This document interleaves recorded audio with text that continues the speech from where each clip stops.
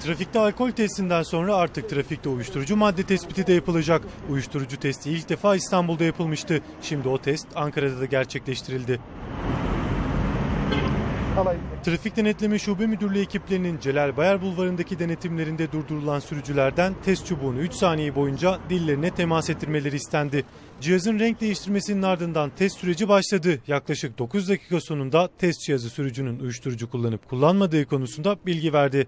Bir bulguya rastlanmamıştır. Sürücümüzü gönderdik. Peki uyuşturucu madde etkisi altında araç kullandığınız tespit edilirse cezası ne olacak? Karayolları Trafik Kanunu'na göre uyuşturucu etkisi altında araç kullanan sürücülere 3600 lira para cezası verilecek. Sürücü belgelerine ise 5 yıl süreyle el konulacak.